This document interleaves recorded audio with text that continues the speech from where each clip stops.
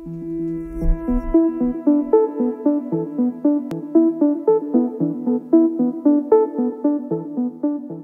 ស្វាគមន៍ប្រិយមិត្តអ្នកស្ដាប់មកកាន់សិភៅជាសំឡេងស្វែងយល់ពីបដិវត្តឧស្សាហកម្មទី4ផលិតដោយមជ្ឈមណ្ឌលអភិវឌ្ឍកម្ពុជា សហការដោយសហភាពសហព័ន្ធយុវជនកម្ពុជា និង Department ប្រព័ន្ធផ្សព្វផ្សាយនិងសារគមនាគមន៍សិភៅស្វែងយល់ពីបដិវត្តឧស្សាហកម្មទី4មាន12ជំពូករួមដោយសទានុក្រមវិទ្យាសាស្ត្របច្ចេកទេស127ពាក្យ និងសរុបចំនួន330ទំព័រជាភាសាខ្មែរនិងអង់គ្លេសបោះពុំលើកទី1ឆ្នាំ2021រក្សាសិទ្ធិដោយមជ្ឈមណ្ឌលអភិវឌ្ឍកម្ពុជាសូមអញ្ជើញស្ដាប់ដោយមេត្រី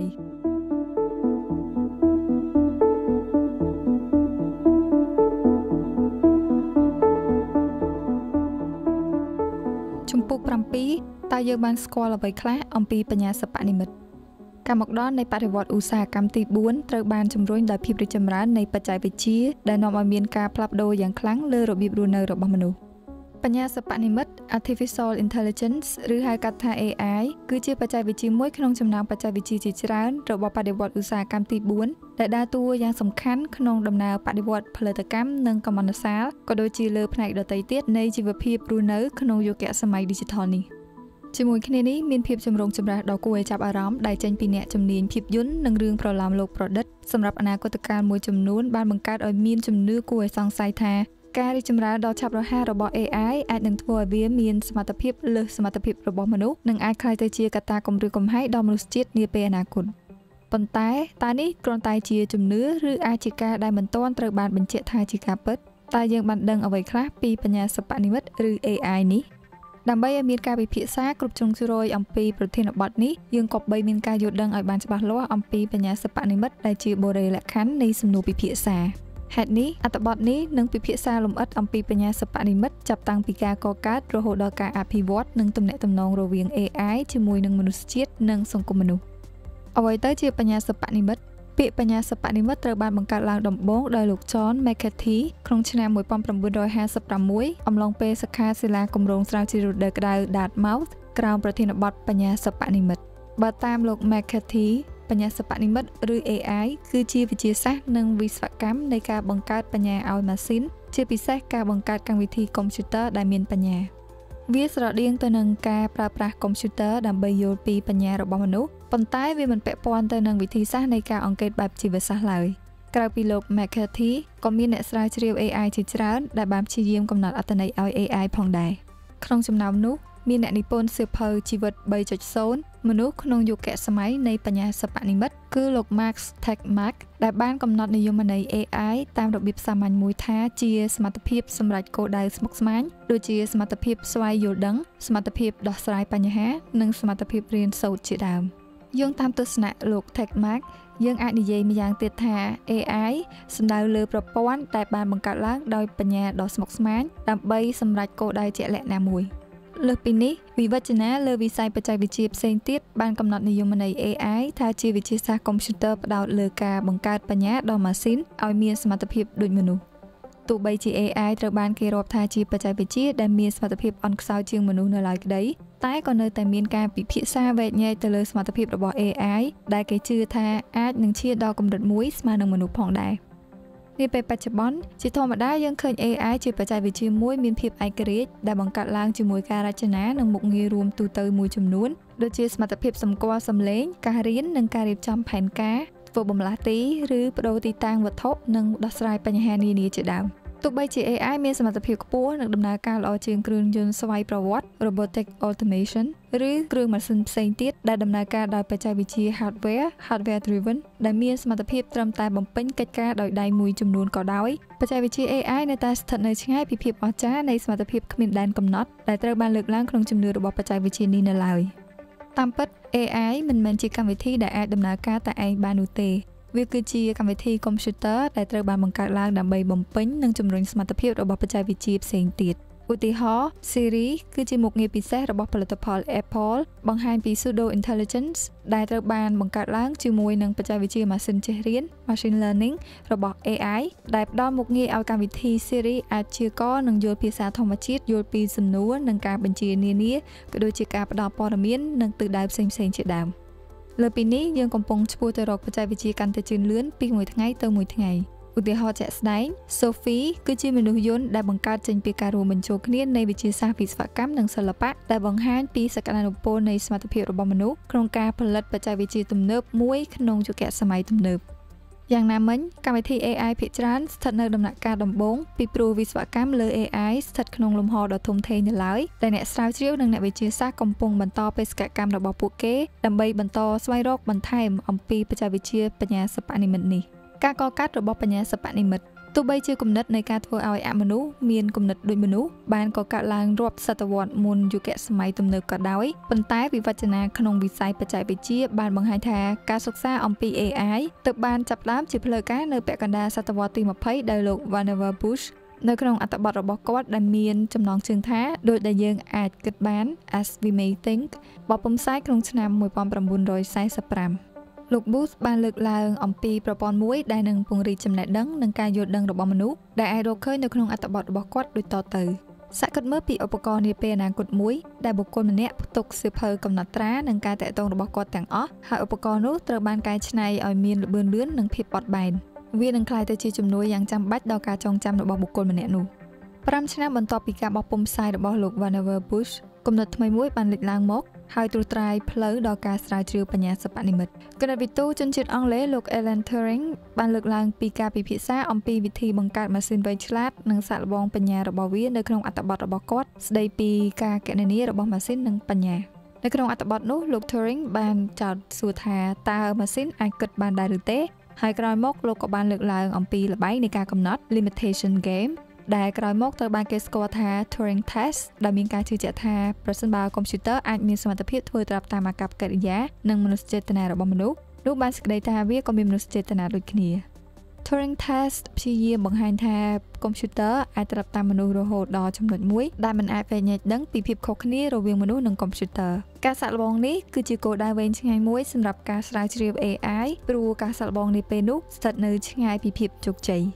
យ៉ាងណាក្តីវានៅតែបន្តធ្វើទំនើបកម្មនិងបន្តជំនះឧបសគ្គជាច្រើននៃការសាក់លបងក្នុងដំណើរការអភិវឌ្ឍបច្ចេកវិទ្យារហូតដល់សម័យបច្ចុប្បន្នលោក McCarthy ត្រូវបានគេចាត់ទុកថាជាស្ថាបនិកនៃវិស័យបញ្ញាសិប្បនិម្មិតខណៈដែលលោក Alan Turing ត្រូវបានគេចាត់ទុកថាជាស្ថាបនិកនៃបច្ចេកវិទ្យានៅពីក្រោយវិស័យ AI នេះបច្ចេកវិទ្យា AI បញ្ញាសិប្បនិម្មិតបច្ចេកវិទ្យាម៉ាស៊ីនចេះរៀននិងបច្ចេកវិទ្យាម៉ាស៊ីនចេះរៀនកម្រិតខ្ពស់ បច្ចេកវិទ្យា AI ត្រូវបានបង្កើតនិងវិវត្តតាមពេលវេលាដោយដែលការសិក្សារៀបរាប់ខាងលើក្នុងនោះក៏មានបច្ចេកវិទ្យាសំខាន់ពីរទៀតដែលត្រូវបានប្រើអមជាមួយបច្ចេកវិទ្យា AI គឺបច្ចេកវិទ្យាម៉ាស៊ីនចេះរៀន Machine Learning ML និងបច្ចេកវិទ្យាម៉ាស៊ីនចេះរៀនកម្រិតខ្ពស់ Deep Learning DL ជាធម្មតាពាក្យទាំង3នេះត្រូវបានប្រើផ្លាស់ប្ដូរគ្នា ហើយពុំមានការបែងចែកច្បាស់លាស់រវាង AI, ML និង DL ឡើយ។ ដោយដែលបានពន្យល់ខាងលើ AI គឺជាវិទ្យាសាស្ត្រកុំព្យូទ័រដែលរួមបញ្ចូលទិន្នន័យធំធំជាមួយនឹងកម្មវិធីដោះស្រាយតាមកុំព្យូទ័រដែលមានល្បឿនលឿននិងមានបញ្ញាដែលធ្វើឲ្យ software ចាប់យកលំនាំនិងលក្ខណៈនៅក្នុងទិន្នន័យដែលផ្ដល់ឲ្យដោយស្វ័យប្រវត្តិដូច្នេះ AI គឺជាវិស័យធំទូលាយមួយដែលមានបច្ចេកវិទ្យាជាច្រើនហើយក្នុងនោះគឺ ML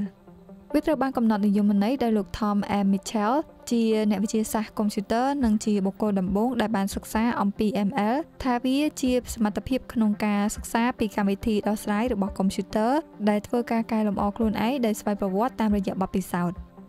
ML ត្រូវបានប្រើដើម្បីឲ្យកុំព្យូទ័រមានលទ្ធភាពបង្រៀនខ្លួនឯងតាមរយៈទិន្នន័យដែលបានបញ្ចូលនិងអភិវឌ្ឍកម្មវិធី AI នៅពេលកំពុងវិវត្តទៅមុខ ML ត្រូវបានបែងចែកជា3ប្រភេទរួមមានការរៀនចេះចាំរបស់ម៉ាស៊ីនកំណត់ដោយមុខងារត្រួតពិនិត្យធាតុចូលនិងធាតុចេញ supervised learning ការរៀនចេះចាំរបស់ម៉ាស៊ីនកំណត់ដោយមុខងារត្រួតពិនិត្យធាតុចូល under supervised learning និងការរៀនចេះចាំរបស់ម៉ាស៊ីនដើម្បីបំពេញកិច្ចការជាបន្តបន្ទាប់ reinforcement learning កម្មវិធីដំណោះស្រាយតាមកុំព្យូទ័ររបស់ ML ជាច្រើន មានជាយូរណាស់មកហើយ ហេតុនេះ ML បច្ចុប្បន្នអាចរៀនបន្តពីកម្មវិធីដោះស្រាយតាមកុំព្យូទ័រមុនមុនដើម្បីបង្កើតការសម្រេចចិត្តនិងលទ្ធផលដែលអាចទុកចិត្តបាន និងដំណើរការសកម្មភាពជាដដែលៗឡើងវិញខុសពីចំនួនមុនមុន ML បច្ចុប្បន្នអាចធ្វើការអនុវត្តការគណនាគណិតវិទ្យាលឿនជាងមុនដោយសារតែការអភិវឌ្ឍបច្ចេកវិទ្យាកុំព្យូទ័រនាពេលបច្ចុប្បន្ន បច្ចេកវិទ្យា AI មួយទៀតដែលត្រូវបានគេស្គាល់ថាជាការរៀនចេះចាំដោយម៉ាស៊ីនកម្រិតខ្ពស់ Deep Learning បានក្លាយជារបបកំហើញថ្មីមួយនៅក្នុងទសវត្សរ៍ឆ្នាំ2010ការរៀនចេះចាំដោយម៉ាស៊ីនកម្រិតខ្ពស់ជាអនុសំណុំនៃ ML ដែលអាចឲ្យកុំព្យូទ័រដោះស្រាយបញ្ហាបាននិងបន្តបង្រៀនកុំព្យូទ័រឲ្យចេះដោះស្រាយបញ្ហាដោយខ្លួនឯងដោយស្វ័យប្រវត្តិ DL ដកស្រង់ទិន្នន័យគ្រប់ទម្រង់និងគ្រប់តំបន់ទាំងអស់ជាទូទៅត្រូវបានស្គាល់ថាជាទិន្នន័យធំដែលអាចបញ្ចូលនិងចែកចាយតាមរយៈកម្មវិធីដូចជាប្រព័ន្ធកុំព្យូទ័រពពក Cloud Computing ជាដើម DL គឺជាប្រព័ន្ធដែលអាចរៀនពីបទពិសោធន៍ក្នុងសំណុំទិន្នន័យធំបើប្រៀបធៀបជាមួយនឹង ML ដូច្នេះ DL គឺជាបច្ចេកវិទ្យាថ្មីនៃ ML ដែលផ្ដល់លទ្ធផលត្រឹមត្រូវខ្ពស់ក្នុងការបំពេញការងារដោយប្រើប្រាស់បណ្ដាញ Artificial Neural Network ANN ដែលជាប្រព័ន្ធកុំព្យូទ័រមានដំណភ្ជាប់គ្នាដោយប្រើនូរ៉ូនសិប្បនិម្មិតដើម្បីទទួលទិន្នន័យដែលបានបញ្ចូលនិងបង្កើតការគណនាលទ្ធផល DL ត្រូវបានគេបែងចែកពី ANN ដោយសារជម្រៅនិងពហុស្រទាប់មើលមិនឃើញនីមួយៗភ្ជាប់គ្នាទៅវិញទៅមកដូចនេះ DL បានប្រើប្រាស់លទ្ធផលនៃស្រទាប់ធ្វើជាទិន្នន័យសម្រាប់ដាក់បញ្ចូលដើម្បីគណនាបន្តហើយសកម្មភាពនោះនឹងធ្វើឡើងជាបន្តបន្ទាប់ដែលធ្វើឲ្យការមានឡើងនៅសមត្ថភាពរៀននិងសមត្ថភាពក្នុងការដោះស្រាយបញ្ហាស្មុគស្មាញ។ អ្វីដែលសំខាន់គឺបច្ចេកវិទ្យាម៉ាស៊ីនចេះរៀនកម្រិតខ្ពស់និងបន្តរីកចម្រើននិងដំណើរការបានល្អប្រសើរដោយសារភាពសម្បូរបែបរបស់ទិន្នន័យនិងជាមួយធម៌ពលកាន់តែខ្លាំងរបស់កុំព្យូទ័របច្ចេកវិទ្យាទាំង3អាចត្រូវបានយល់ក្នុងន័យថា DL ជាអនុសំណុំនៃ ML ដែល ML ជាអនុសំណុំនៃ AI ប៉ុន្តែក្នុងករណីខ្លះ ML ឬ DL មិនចាំបាច់ឡើយសម្រាប់បច្ចេកវិទ្យា AI ទោះជាយ៉ាងណាក៏ដោយ ពួកគេគឺជាកត្តាជំរុញដ៏សំខាន់សម្រាប់អភិវឌ្ឍបច្ចេកវិទ្យា AI ក្រៅពីបច្ចេកវិទ្យាទាំងពីរនេះដែលត្រូវបានពិភាក្សាខាងលើក៏មានសមាសភាពបច្ចេកវិទ្យាផ្សេងទៀតដែលត្រូវបានគេស្គាល់ថាជាអនុធាតុរបស់ AI ដូចគ្នាដែលក្នុងនោះរួមមានដំណើរការភាសាធម្មជាតិ Natural Language Process ឬ NLP ការវិភាគជាក predictive analytics និងប្រព័ន្ធបច្ចេកវិទ្យាជំនួសខួរក្បាលមនុស្ស cognitive computing ជាដើមប្រភេទបញ្ញាសិប្បនិម្មិតនៅពេលការស្រាវជ្រាវ AI ឬបច្ចេកវិទ្យាបញ្ញាសិប្បនិម្មិតនេះព្យាយាមធ្វើឲ្យម៉ាស៊ីនមានសមត្ថភាពដូចជាមនុស្ស AI បច្ចេកវិទ្យាបញ្ញាសិប្បនិម្មិតខ្លួនឯងផ្ទាល់មានលក្ខណៈផ្សេងផ្សេងនិងខុសពីគ្នាអាស្រ័យលើសមត្ថភាពនិងការអនុវត្តរបស់វារហូតមកដល់ពេលនេះគេមានវិធីពីរយ៉ាងដើម្បីធ្វើចំណាត់ថ្នាក់ AI ដោយមួយក្នុងចំណោមនោះផ្អែកលើបច្ចេកទេសបច្ចេកវិទ្យានិងមួយផ្សេងទៀតផ្អែកលើភាពដូចគ្នានៃម៉ាស៊ីនទៅនឹងគំនិតរបស់មនុស្សបាននិយាយពីបច្ចេកទេសបច្ចេកវិទ្យាគេបែងចែក AI ជា3ប្រភេទ ប្រភេទទី1គឺបញ្ញាសិប្បនិម្មិតដែលមានសមត្ថភាពមុខងារតែមួយ Artificial Narrow Intelligence ឬ ANI ដែលតំណាងឲ្យបច្ចេកវិទ្យាបញ្ញាសិប្បនិម្មិតដែលកំពុងមានទាំងអស់ ANI សំដៅទៅលើប្រព័ន្ធ AI ដែលកម្មវិធីរបស់វាត្រូវបានកំណត់ដើម្បីអនុវត្តការងារជាក់លាក់ណាមួយដោយស្វ័យប្រវត្តិជាមួយសមត្ថភាពដូចមនុស្សប្រភេទទី2គឺបញ្ញាសិប្បនិម្មិតដែលមានសមត្ថភាពទូទៅ Artificial General Intelligence ឬ AGI ដែលមានពហុមុខងារអាចរៀនស្វែងយល់និងបំពេញមុខងារដូចជាមនុស្ស ប្រភេទទី3គឺបញ្ញាសិប្បនិម្មិតដែលមានសមត្ថភាពអស្ចារ្យ Artificial Super Intelligence ឬ ASI ដែលសមត្ថភាពរបស់វាត្រូវបានគេព្យាករណ៍ថានឹងលើសពីអ្វីដែលមនុស្សអាចធ្វើបាន ក្រៅពីការបែងចែកប្រភេទដែលធ្វើឡើងផ្អែកតាមបច្ចេកវិទ្យាវិធីផ្សេងទៀតដើម្បីធ្វើចំណាត់ថ្នាក់ AI គឺតាមរយៈការស្វែងយល់ពីភាពស្រដៀងគ្នានៃម៉ាស៊ីនទៅនឹងគំនិតរបស់មនុស្សម៉ាស៊ីនដែលមានប្រតិកម្ម reactive machine គឺជាទម្រង់ចាស់បំផុតនៃប្រព័ន្ធ AI ដែលសមត្ថភាពរបស់វានៅមានកម្រិតទោះបីវាអាចឆ្លើយតបដោយស្វ័យប្រវត្តិទៅនឹងសំណុំដែលមានកំណត់ឬការរួមបញ្ចូលនៃទិន្នន័យដែលបានដាក់បញ្ចូលវាមិនអាចទទួលបានបទពិសោធន៍ឬរៀនពីបទពិសោធន៍បាននោះទេ ប្រភេទ AI មួយទៀតគឺការចងចាំមានកម្រិត limited memory ដែលជាបច្ចេកវិទ្យាដែលមានសមត្ថភាពដូចគ្នាទៅនឹងម៉ាស៊ីនដែលមានប្រតិកម្មតែវាមានសមត្ថភាពរៀនពីទិន្នន័យចាស់ៗដើម្បីធ្វើការសម្រេចចិត្តទ្រឹស្ដីនៃចិត្ត The Theory of Mind គឺជាប្រភេទ AI មួយផ្សេងទៀតដែលបច្ចុប្បន្នវាគ្រាន់តែជាទ្រឹស្ដីពុំទាន់មានរូបរាងនៅឡើយ។ AI ប្រភេទនេះត្រូវបានរំពឹងថានឹងមានសមត្ថភាពខ្ពស់មិនត្រឹមតែអាចយល់និងរៀនសូត្រពីខ្លួនវាបានប៉ុណ្ណោះទេវាថែមទាំងមានលទ្ធភាពស្វែងយល់ពីអង្គភាពផ្សេងទៀតដែលវាមានទំនាក់ទំនងជាមួយផងដែរប្រភេទ AI ចុងក្រោយនេះគឺមានលក្ខណៈស្វែងយល់ដឹង self awareness ដូចនឹងឈ្មោះដែលបានផ្ដល់ឲ្យវាសំដៅទៅលើប្រព័ន្ធ AI ដែលអភិវឌ្ឍស្វ័យភាពទៅលើការយល់ដឹងនិងការពន្យល់ប៉ុន្តែបច្ចុប្បន្នវាមានត្រឹមតែជាសមត្ថកម្មនិងជាទ្រឹស្ដីនៅឡើយ។ ឥទ្ធិពលនៃបញ្ញាសិប្បនិម្មិតចាប់តាំងពី AI បានដើរតួជាកម្មវិធីវិទ្យាសាស្ត្រដែលបានធ្វើឲ្យប្រសើរឡើងជាងមុននៅដំណើរការនិងមុខងារនៃផលិតផលក៏ដូចជាម៉ាស៊ីនភាពវៃឆ្លាតរបស់ AI កាន់តែកើនឡើងរីឯឥទ្ធិពលរបស់វាក៏រីកធំឡើងទៅតាមនោះនិងមានផលជះកាន់តែខ្លាំងទៅលើសង្គមដែលធ្វើឲ្យមានការផ្លាស់ប្ដូរដល់ការរស់នៅរបស់មនុស្ស វាពិតជាមិនអាចប្រកែកបានទេថា AI ពិតជាបានជាឥទ្ធិពលដល់ទម្រង់ឧស្សាហកម្មទំនើបជាច្រើនផតាំងត្រូវបានបង្ហាញយ៉ាងច្បាស់តាមរយៈនវានុវត្តន៍ថ្មីៗមួយចំនួនធំរួមមានយានយន្តស្វ័យប្រវត្តិឬរថយន្តគ្មានអ្នកបើកបរបច្ចេកវិទ្យាសម្គាល់ផ្ទៃមុខនិងសំឡេងក៏ដូចជាការកែលម្អការធ្វើបដិរូបកម្មនៃការផ្សាយពាណិជ្ជកម្មជាដើម ក្រុមហ៊ុនបច្ចេកវិទ្យាធំធំដូចជា Google ជាមួយ Waymo, Uber និង Tesla កំពុងប្រណាំងប្រជែងនិងធ្វើការលើគម្រោងយានយន្តស្វ័យប្រវត្តិចាប់តាំងពីគំនិតនេះបានផុសឡើងក្នុងឆ្នាំ2004ក្រុមហ៊ុនវិនិយោគជាច្រើនមានជំនឿថាយានយន្តស្វ័យប្រវត្តិនឹងជួយសម្រួលសុវត្ថិភាពនៅលើដងផ្លូវឲ្យកាន់តែប្រសើរឡើងគេរំពឹងទុកថាយានយន្តស្វ័យប្រវត្តិនឹងមានសុវត្ថិភាពជាងរថយន្តដែលបើកបរដោយមនុស្សដោយសារតែវានឹងមិនទទួលឥទ្ធិពលពីការរំខាននៃបរិយាកាសជុំវិញខ្លួនដូចជាមនុស្សឡើយ។ ក្រៅពីសវត្ថភាពចរាចរណ៍តាមរយៈការបង្កើតយានយន្តស្វ័យប្រវត្តិនៅមាននវានុវត្តន៍ថ្មីផ្សេងទៀតដូចជាបច្ចេកវិទ្យាសម្គាល់ផ្ទៃមុខបានដើរតួនាទីយ៉ាងសំខាន់ក្នុងការពង្រឹងសន្តិសុខព្រមទាំងបង្កើនភាពងាយស្រួលដល់ការរស់នៅនិងភាពទាន់សម័យសម្រាប់សង្គមមនុស្សវត្តមានបច្ចេកវិទ្យាសម្គាល់មុខ facial recognition អាចឲ្យយើងដោះសោទូរស័ព្ទក្នុងពេលត្រឹមតែ1វិនាទីដោយពុំចាំបាច់វាបញ្ចូលលេខសម្ងាត់ វាមិនត្រឹមតែអាចឲ្យអ្នកប្រើប្រាស់មានលទ្ធភាពចូលប្រើបានភ្លាមៗនោះទេភាពជឿនលឿននៃបច្ចេកវិទ្យាសម្គាល់មុខនេះបានផ្ដល់នូវមធ្យោបាយសុវត្ថិភាពជាងមុនសម្រាប់ការរក្សាឯកជនភាពនៃឧបករណ៍អេឡិចត្រូនិកនិងការពារទិន្នន័យរបស់អ្នកប្រើប្រាស់ផងដែរបច្ចេកវិទ្យាសម្គាល់មុខមានភាពចាំបាច់ជាងមុនក្នុងការពង្រឹងប្រព័ន្ធយុត្តិធម៌ក្នុងវិស័យព្រហ្មទណ្ឌនិងស្ថិរភាពសន្តិសុខនៅក្នុងសង្គម ព្រោះវាអាចត្រូវបានប្រើដើម្បីកំណត់អត្តសញ្ញាណជនល្មើសដែលប្រព្រឹត្តបទឧក្រិដ្ឋនិងសម្បីតែភេរវករដែលអនុវត្តសកម្មភាពភេរវកម្មណាមួយជាក់ស្ដែងបច្ចេកវិទ្យានេះត្រូវបានប្រើប្រាស់ដោយប៉ូលីសនៅប្រទេសចិនដើម្បីធ្វើការវិភាគវីដេអូខ្លំមើលដែលនាំទៅដល់ការកំណត់អត្តសញ្ញាណមនុស្សនិងរថយន្តបន្ថែមលើអត្ថប្រយោជន៍ផ្នែកសន្តិសុខបច្ចេកវិទ្យា AI ក៏បានធ្វើឲ្យមានការផ្លាស់ប្ដូរគួរឲ្យកត់សម្គាល់ក្នុងវិស័យផ្សព្វផ្សាយពាណិជ្ជកម្មនិងទីផ្សារផងដែរ ឧទាហរណ៍នៅឆ្នាំ2018ក្រុមហ៊ុនរថយន្ត Lexus បានចេញការផ្សាយពាណិជ្ជកម្មជាលើកដំបូងដែលជាការសរសេរដោយប្រព័ន្ធ AI ប្រើប្រាស់ IBM Watson ក្នុងការវិភាគយុទ្ធនាការរថយន្តម៉ាកល្បីនិងប្រណិតក្នុងរយៈពេល15ឆ្នាំការផ្សាយពាណិជ្ជកម្មនោះបានឈ្នះពានរង្វាន់ Cannes Lions ចំពោះភាពច្នៃប្រឌិតរួមមានការប្រមូលផ្ដុំនៃទិន្នន័យខាងក្រៅផ្សេងទៀត។ បច្ចេកវិទ្យា AI ក្នុងវិស័យទីផ្សារជាធម្មតាត្រូវបានប្រើដើម្បីគ្រប់គ្រងបែបបរិយាសកម្មសម្រាប់ការទិញនិងលក់ផលិតផលក៏ដូចជាការណែនាំផលិតផលដោយប្រើប្រាស់ការវិភាគកម្មវិធីដោះស្រាយតាមកុំព្យូទ័រដើម្បីយល់ដឹងអំពីដំណើរការពាណិជ្ជកម្ម។ និយាយឲ្យខ្លីទៅ AI ផ្ដល់អត្ថប្រយោជន៍ដល់យើងតាមមធ្យោបាយជាច្រើនដូចជាកំណើនផលិតកម្មការចំណេញពេលវេលាសម្រាប់ការងារជាប្រចាំនិងការកាត់បន្ថយកំហុសបើប្រៀបធៀបនឹងការបំពេញកិច្ចការដោយមនុស្សហើយដែលសំខាន់បំផុតគេអាចប្រើប្រាស់ AI ក្នុងពិសោធន៍ឬក្នុងស្ថានភាពដែលមិនមានការធានាដល់សុវត្ថិភាពដើម្បីជៀសវាងហានិភ័យទៅលើជីវិតមនុស្ស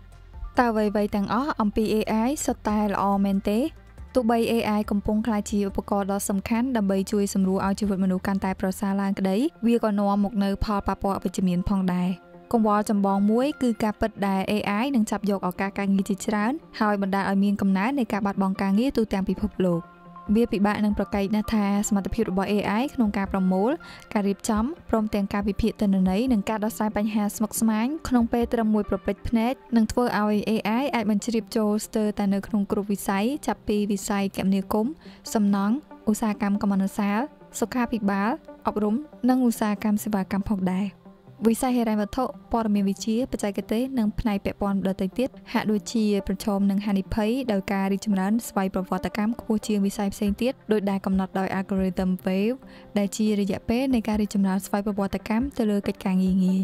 នៅពេលបច្ចេកវិទ្យាមានអន្តរកម្មធម្មវ័ននិងមានការសម្រេចចិត្តដោយបង្ហាញនៅក្នុង augmentation wave ហានិភ័យនៃការប្រើប្រាស់ម៉ាស៊ីនជំនួសកម្លាំងពលកម្មមនុស្សក្នុងការបំពេញការងារនឹងអាចក្លាយទៅជានិន្នាការជាក់ស្ដែង។ បន្ទាប់មកនៅក្នុង autonomy wave នៅពេលដែល AI មានលទ្ធភាពធ្វើការវិភាគទិន្នន័យចេញមកពីប្រភពជាច្រើនដើម្បីធ្វើការសម្រេចចិត្តនិងធ្វើសកម្មភាពដោយគ្មានឬមានការរួមចំណែកពីមនុស្សតិចតួចនៅក្នុងការបំពេញការងារនោះប្រមាណ50%នៃការងាររបស់មនុស្សនឹងត្រូវជំនួសដោយ AI ដែលហេតុដូចនេះហើយវាបានបង្ហាញយ៉ាងច្បាស់ពីហានិភ័យនៃការបាត់បង់ការងារដល់មនុស្សនៅពេលបញ្ញាសិប្បនិមិត្តត្រូវបានលើកមកពិភាក្សាការបាត់បង់ការងារមិនមែនជាការព្រួយបារម្ភតែមួយមុខនោះទេ មានបញ្ហាជាច្រើនទៀតដូចជាបញ្ហាសន្តិសុខនិងឯកជនភាពដែលតម្រូវឲ្យអ្នកស្រាវជ្រាវនិងអ្នកវិទ្យាសាស្ត្រលើវិស័យនេះស្វែងរកដំណោះស្រាយគេអាចលើកយកយានយន្តដំណើរការដោយស្វ័យប្រវត្តិឬរថយន្តគ្មានអ្នកបើកបរជាឧទាហរណ៍បច្ចេកវិទ្យានេះមិនទាន់ត្រូវបានគេទទួលយកទាំងស្រុងឡើយស្របពេលដែលមានសំណួរនិងការសង្ស័យជាច្រើនប្រឆាំងនឹងគម្រោងនេះថា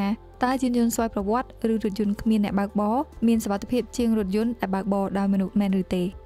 លើសពីនេះវាមានសារៈសំខាន់ណាស់ក្នុងការកត់សម្គាល់ថាយានយន្តស្វ័យប្រវត្តិឬរថយន្តគ្មានអ្នកបើកបរអាចនឹងក្លាយជាគោលដៅថ្មីសម្រាប់ការវាយប្រហារតាមប្រព័ន្ធអ៊ីនធឺណិតខណៈដែលការតភ្ជាប់និងទំនាក់ទំនងដ៏ស្មុគស្មាញនានាកាន់តែបន្តកើនឡើងពីមួយពេលទៅមួយពេលដែលវានឹងធ្វើឲ្យរថយន្តងាយនឹងទទួលការវាយប្រហារពីអ្នកវាយប្រហារលើប្រព័ន្ធអ៊ីនធឺណិតដែលជាលទ្ធផលបណ្ដាលឲ្យបាត់បង់ទិន្នន័យដែលអាចជះឥទ្ធិពលអវិជ្ជមានដល់សុវត្ថិភាពរថយន្តនិងអាចបង្កឧបទ្ទវហេតុចរាចរណ៍កាន់តែគ្រោះថ្នាក់ ក្រៅពីនេះបច្ចេកវិទ្យាសង្គមមុខបាននាំឲ្យមានភាពមិនច្បាស់លាស់ព្រោះខណៈពេលដែលវាត្រូវបានប្រើដើម្បីពង្រឹងសន្តិសុខនៅលើឧបករណ៍របស់យើងឬដើម្បីជួយអាជ្ញាធរការពារយើងពីអ ுக ្រិតជនវាក៏បង្កបញ្ហាដល់ឯកជនភាពដែលនេះជាករណីដំណោះស្រាយលើបញ្ហាមួយបង្កជាបញ្ហាមួយផ្សេងទៀត ឧទាហរណ៍ក្រុមហ៊ុនចិនឈ្មោះ SenseNet ជាក្រុមហ៊ុន software ដែលផ្ដោតទៅលើសន្តិសុខរបស់បញ្ញាសិប្បនិម្មិតលើបច្ចេកវិទ្យាសម្គាល់ផ្ទៃមុខការវិភាគវងមនុស្សនិងការសិក្សាផ្ទៀងផ្ទាត់អត្តសញ្ញាណមានប្រព័ន្ធទិន្នន័យបើកចំហមិនមានការការពារត្រឹមត្រូវនិងអាចចូលប្រើប្រាស់ដោយសេរីលើពីនេះសមត្ថភាពមានដែនកំណត់លើការអភិវឌ្ឍរបស់ AI បច្ចុប្បន្នក៏បង្កើតឲ្យមានការព្រួយបារម្ភមួយទៀតផងដែរ។ ទោះបីជាមានសមត្ថភាពបំពេញការងារនិងដំណើរការដោយមនុស្សដោយភាពវៃឆ្លាតក៏ដោយក្តីបច្ចេកវិទ្យា AI បច្ចុប្បន្នមិនទាន់ឈានទៅដល់ដំណាក់កាលដែលម៉ាស៊ីនមានសតិបញ្ញានិងស្វែងយល់ដឹងនៅឡើយទេដោយបានពន្យល់ខាងលើអំពី AI AGI ឬ ASI ដែលមានតែនៅក្នុងការស្រាវជ្រាវជាលក្ខណៈទ្រឹស្ដីតែប៉ុណ្ណោះនាពេលបច្ចុប្បន្ននិយាយឲ្យងាយទៅគឺថា AI គឺជាប្រព័ន្ធដែលមានបញ្ញាប៉ុន្តែប្រព័ន្ធទាំងនោះមិនទាន់មានលទ្ធភាពក្នុងការបកស្រាយឬពន្យល់ពីហេតុផលនៅក្នុងការធ្វើការសម្រេចចិត្តណាមួយនោះឡើយ។ AI អាចនឹងធ្វើសកម្មភាពណាមួយបានយ៉ាងល្អបើទោះបីជាសកម្មភាពនោះមិនមានហេតុផលត្រឹមត្រូវក៏ដោយដែលហេតុថាការធ្វើសកម្មភាពរបស់ AI ផ្អែកទៅលើការត្រិះរិះលើទិន្នន័យដែលមានយើងអាចរកឃើញនៅក្នុងឧទាហរណ៍មួយផ្សេងទៀតដែរអំពីប្រព័ន្ធបង្កើតអត្ថបទមួយផលិតដោយក្រុមហ៊ុនស្រាវជ្រាវ OpenAI កាលពីប្រហែលខែចុងក្រោយនេះដែលត្រូវបានគេចាត់ទុកថាជាប្រព័ន្ធដែលមានគ្រោះថ្នាក់ខ្លាំងព្រោះប្រព័ន្ធនេះមានសក្តានុពលក្នុងការបង្កើតព័ត៌មានคล้ายៗឬសារឥតបានការនៅលើប្រព័ន្ធផ្សព្វផ្សាយសង្គម។ ព័ត៌មានអំពីម៉ាស៊ីនបង្កើតអត្ថបទដែលត្រូវបានស្រាវជ្រាវនិងបង្កើតដោយក្រុមហ៊ុន OpenAI បានបង្ហាញយ៉ាងច្បាស់ថាប្រព័ន្ធ AI ប្រភេទនេះបានក្លាយជាឧបករណ៍សម្រាប់មនុស្សដែលមានបំណងមិនល្អជាពិសេសសម្រាប់អ្នកនយោបាយនិងក្រុមភេរវករដើម្បីបង្កើតព័ត៌មានคล้ายៗដែលនឹងអាចបង្កផលប៉ះពាល់យ៉ាងខ្លាំងដល់សង្គមមនុស្សដូចជាអសន្តិសុខអស្ថិរភាពនិងភាពចរាចរណ៍សង្គមជាដើម។ យ៉ាងណាក្តីប្រព័ន្ធ AI ខ្លួនឯងមិនមានចេតនាអាក្រក់នោះទេពីព្រោះវាជាការបង្កើតថ្មីមួយដែលបង្កើតឡើងក្នុងគោលបំណងដើម្បីសម្រេចភារកិច្ចនិងដោះស្រាយបញ្ហាស្មុគស្មាញប៉ុណ្ណោះវាជាការពិតដែលថាសមត្ថភាព AI ប្រហែលជាបានរីកចម្រើនខ្លាំងជាងសមត្ថភាពមនុស្សនៅក្នុងវិស័យផ្សេងៗហើយច្បាស់ជានឹងបន្តរីកចម្រើនលើសពីអ្វីដែលយើងអាចនឹកស្មានដល់នៅឆ្នាំ2017កម្មវិធី AlphaGo ដែលជាកម្មវិធីកុំព្យូទ័រតែមួយគត់បានយកឈ្នះម្ចាស់ជើងឯពិភពលោកដែលជាអ្នកលេង Go គឺ Lokerji ហើយទទួលបានងារជាអ្នកលេងគោដ៏ខ្លាំងបំផុតក្នុងប្រវត្តិសាស្ត្រដោយហេតុថាវិទ្យាសាស្ត្រគ្មានព្រំដែនអ្នកស្រាវជ្រាវតែងស្វែងយល់ពីអ្វីថ្មីថ្មីទាក់ទងនឹងបច្ចេកវិទ្យាហើយនាំយករបបកំហើញដ៏លេចធ្លោទៅកាន់ពិភពលោកស្ទើរតែរាល់ថ្ងៃដែលក្នុងនោះរួមមានទាំងការបន្តរុករកបន្ថែមទៀតអំពីសមត្ថភាពដ៏អស្ចារ្យរបស់ AI ទោះបីជាមានការអភិវឌ្ឍយ៉ាងខ្លាំងលើបច្ចេកវិទ្យា AI ក៏ដោយការបង្កើតបញ្ញា Cyborg Cyborg Intelligence នៅតែជាគម្រោងដែលមានរយៈពេលយូរនិងមិនទាន់អាចសម្រេចបាន។ ដូច្នេះអត្ថិភាពនៃបញ្ញា Cyber ដ៏អស្ចារ្យមាននៅក្នុងជំនឿដែលអាចបង្កើតឲ្យមានការភ័យខ្លាចក្នុងចំណោមមនុស្សជាតិក៏នៅមិនទាន់កើតមានឡើងនៅឡើយយ៉ាងណាក្តីយើងនៅតែមិនអាចបដិសេធនៅរាល់ផលប៉ះពាល់អវិជ្ជមានដទៃទៀតដែលបណ្ដាលមកពីបច្ចេកវិទ្យា AI នាពេលបច្ចុប្បន្ននេះដូចគ្នា ឆ្នេះហើយមនុស្សជាពិសេសក្រុមអ្នកវិទ្យាសាស្ត្រនិងក្រុមអ្នកសិក្សាស្រាវជ្រាវបច្ចេកវិទ្យា AI នឹងធ្វើការប្រជែងជាមួយពេលវេលាដើម្បីស្វែងរកដំណោះស្រាយប្រឆាំងនឹងបញ្ហាដែលកំពុងកើតឡើងនិងបន្តស្រាវជ្រាវពីវិទ្យាសាស្ត្រដែលមិនទាន់អាចពន្យល់បាននាពេលកន្លងមក។